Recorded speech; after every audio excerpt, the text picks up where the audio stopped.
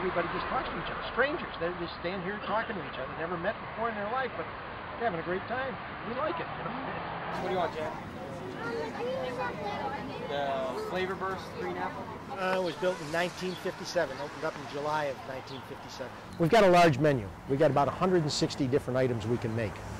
Combinations of toppings and ice cream. and uh, So, you know, you, you can take care of every, every person that comes up. You know, we, we have the non-fats, no sugar added. Uh, you can get a sundae that's non-fat, no sugar added. They can, they can have their hot fudge. You know, and they're, they're happy. Wrinkles on top.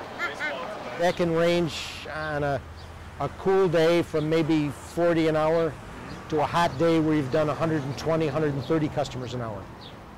My favorite is mint chocolate chip. um, black raspberry. Black ra- raspberry. Probably our black raspberry is the one that's most famous because we make that with puree, ground raspberries when we make it. My favorite flavor is chocolate. I got to help out the girls. It depends on how busy we are. And, you know, they've got to take a break once in a while. You got to slide in and, and pick up the slack so that they can get away from the window. Because they'll do a, a high number of people in an hour's time. And they make everything. I mean, it's, it's not that they take the order, somebody else is making it. That girl takes that order, she makes it all, brings it back, cashes out, everything. She does it start to finish. Bubblegum and chocolate chip made.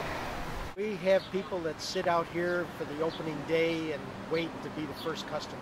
Bought stuff for other people to make sure she's first in line. She's back in the fall for the last night. Everybody's on the go now.